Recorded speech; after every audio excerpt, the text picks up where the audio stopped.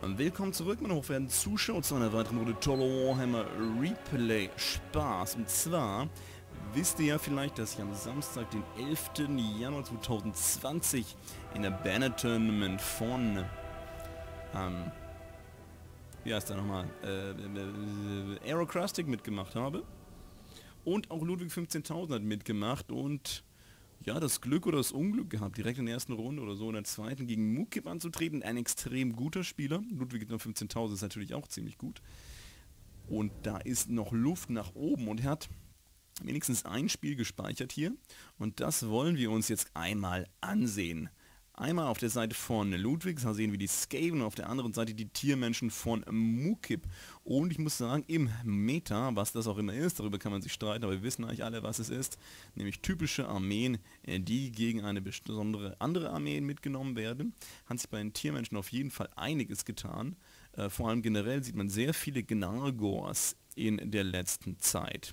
An sich von ihren Werten her relativ schlecht. 24 Nahkampfangriff, 16 Nahkampfabwehr, Rüstung auch nicht sonderlich hoch. Geschwindigkeit ist aber ziemlich okay.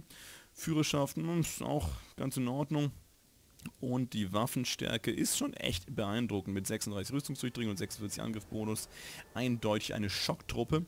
Auch ein vergleichsweise günstiges Regiment, um ja was zu haben, was gegnerische monströse Regimenter aufhält. Und dazu, davon sind 1, 2, 3, vier Regimenter beim Mukib dabei, also richtig hammerhart da drauf gesetzt. Ansonsten hier Teammenschen sehen wir Ungors, Ungors, äh, Gors, äh, Ungors, ein paar Ungor-Plünderer und einen bereits fast toten Malagor, das dunkle Omen. Wow. Äh, und er hat nicht mal seine, seine Zygo-Beschwörung dabei. Überraschend. Dafür geschieft gibt es also Damage-Sprüche. Ein Gorbulist, Sturmbull ist dabei. Das war es mehr oder weniger und im Hintergrund haben wir auch noch einen Haufen Hunde gesehen. Die allerdings noch ziemlich weit von den Skaven entfernt sind und bald reinlaufen sollten. Skaven mit einer Formation aus zweimal Jeziles, also sehr Jezile-lastig, gegen so eine Sturmarmee wie die Tiermenschen. Das kann in die Hose gehen, aber tatsächlich hat es ihm hier gerade einiges gebracht. Denn Malagor, das dunkle Omen, ist fast um sein Leben äh, gebracht. Ansonsten sehen wir hier eine Armee, die mir gut gefällt, so wie ich sie früher häufig gemacht habe. Letzte Zeit nicht mehr so oft. Wir sehen einmal eine Reihe von solchen Mönchen. Solchen Mönchen, äh, die haben Bonus gegen Infanterie, gute Damage-Dealer, auch ein bisschen physische Resistenz nehmen allerdings auch selber ganz gut Schaden. Ratenoger dabei, eine der besten Sturmtruppen, die die Skaven haben. Wir sehen noch ein paar Clan-Ratten, zweimal Eschen-Triaden hier im Hintergrund und einen grauen Prophet mit Seuchen. Ich weiß, Ludwig nimmt den gerne mit, ähm, weil er Clan, äh, nee, Sturmratten mit Hellebarden beschwören kann. Und Rattenflut hat er auch dabei. Also nur zum Beschwören, ich denke gerade gegen Tiermenschen lohnt sich so ein Pest-Odem eigentlich schon ganz gut. Also Höllengrubenbrut ist auch dabei. Ähm, eines ist klar, diese Jeziles werden sehr bald kompromittiert werden durch die Chaoshunde. Gut, die Eschentriaden können dagegen kämpfen, allerdings Chaoshunde sind nicht groß, da kriegen sie nicht ihren Bonus gegen groß, aber uh, es geht los, Leute. Es geht los und wir sehen uns das jetzt hier schön an, wenn die Linien aufeinandertreffen. Wir gehen in den Kinomodus und BAM! Ah, fantastisch.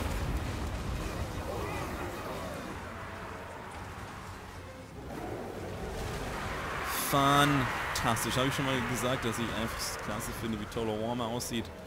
Ah, es, es ist einfach unglaublich episch. Oh, was ist jetzt passiert? Okay, die Linien sind aufeinander getroffen.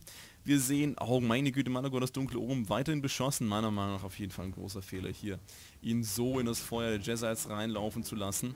Ähm, aber ich gehe mal davon aus, dass Mukib damit gerechnet hat, den Gegner frühzeitig auszuschalten. Was er jetzt auf jeden Fall schafft, ist mit den Hunden die Jezites auszuschalten. Und wenn er das hinkriegt, bevor Malagor das dunkle Omen futsch ist, bam, Menge Schaden gemacht, dann könnte es für die Tiermenschen immer noch sehr, sehr gut ausgehen. Oh, hier im Zentrum sind die Korps Menschenreißer trotz ihrer hohen Panzerung absolut gnadenlos vernichtet worden.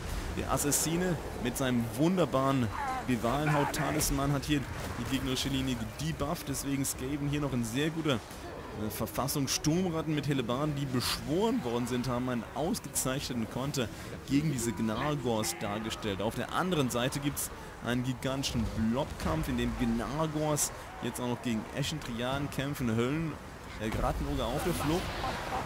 Clanratten von einem Urschrei getroffen, aber gut, war eh nur ein beschworenes Regiment. Insofern ziemlich wertlos. Das wäre hier auf die Seuchenmönche auf jeden Fall deutlich wichtiger gewesen. Seuchenmönche im Kampf gegen Gnargors treffen wahrscheinlich auch mehrere Modelle gleichzeitig mit jedem Angriff. Daher vermutlich gar nicht mal so schlecht. Aber das sieht schon mal nicht so gut aus für die... Wohl. Eindeutig zu Ende ist das hier noch nicht. Assassine macht gerade ein paar Krogs Menschenreißer kaputt. Hier auf der rechten Flanke brechen die Skaven vermutlich jeden Moment zusammen. Eschentriaden sind ziemlich schlecht gegen Nahkampfinfanterie mit Tiermenschen. Urschrei, der ging irgendwie total daneben. Ähm, ich habe fast das Gefühl, Muki ist hier nicht unbedingt on the top of his game. Vor allem vergisst er auch seine weiteren haufenweise Einheiten sind im Hintergrund vergessen worden. Dass es mir passiert, kann ich verstehen. Aber gut, sagen wir es mal so, ich habe auch lange Zeit nicht mehr ganz so viel gespielt. Und das sind auf jeden Fall Sachen, die hier eindeutig das Spiel kosten können. So ein Angriff hier irgendwo in den Rücken oder da rein sorgt direkt für das Zusammenbrechen einer Flanke oder sowas. Das kann auf jeden Fall passieren und dann hat man ein Riesenproblem. Hat man ein Riesenproblem. Höllengrubenbrut allerdings noch ziemlich ja, gesund. 100 Lebenspunkte noch übrig. Was war denn das hier? Gezieferschwall und Urknall. Hat eigentlich hauptsächlich seine eigenen Korps Menschenreißer getroffen. Und da kommen die Hunde aus dem Hintergrund und werden die Seuchenpriester in die Flucht schlagen. Damit ist diese Flanke eigentlich gewonnen. Die Bestigors haben es gerissen. Und es sieht auf einmal nicht mehr so gut aus für die Skaven. Oh, der Assassine hat es geschafft, Malagor das dunkle Omen auszuschalten. Das ist jetzt natürlich ein Riesenproblem für die Tiermenschen, die von Grund auf sowieso keine so hohe Führerschaft haben. Ah, Assassine war hier eine ideale Wahl. Eigentlich ist es, ich glaube, ich glaube, diese Führer, der Führerschaftsverlust durch den Verlust des Generals, da werden sie jetzt wahrscheinlich kaum noch durchkommen. Oh, außerdem Angriff Gnargors gegen Eschentrian. Das sind genau die Gegner, gegen die die Eschentriaden kämpfen wollen. Die hauen die bestimmt ruckzuck kaputt. Das zeigt, sie... Oh! Ganz so gut hat das dann doch nicht funktioniert. Na doch, na da fallen sie. Wie die fliegen, Eschentriaden. Doch keine so schlecht. Die Wayne Güte Sturmbulle fliegt erstmal durch 50 Clanratten durch. Höllengrubenbull hat es gut auseinandergerissen, muss man schon sagen. Aber regeneriert sich und hat immer noch 1000 Lebenspunkte. Sogar noch ein bisschen mehr ist für die Tiermenschen hier noch was zu machen. Sie haben tatsächlich noch einige Regimenter in Reserve. Noch ein paar Gnargors, aber die Centigors, ne, wie heißt doch, nee, die Bestigors sind auf der Flucht. Grauer Prophet kann bestimmt noch mindestens einmal was beschwören. Höllengrubenbrut hat sich gerade regeneriert. Wenn die gefallen wäre, wäre hier vielleicht noch ein Terror Route mit Hilfe des Sturmbullen möglich gewesen. Aber die Anti-Groß-Höllengrunenbrut, bäh! Ah, muss es einfach lieben. Ich glaube, ich sollte auch mal wieder mehr Tiermenschen spielen.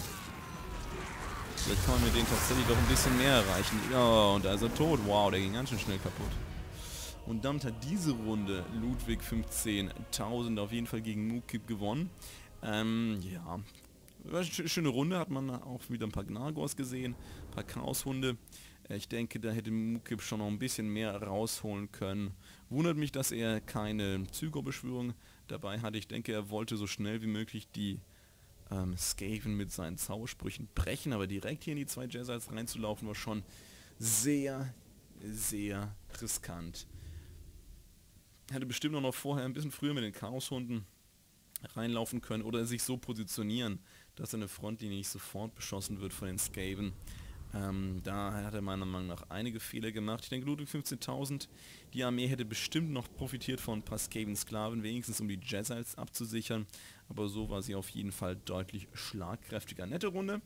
Ähm, ich glaube, im Großen und Ganzen ist, äh, ist ähm, Ludwig dann äh, doch noch ausgeschieden. Gucken wir einmal kurz rein in das Banner Tournament.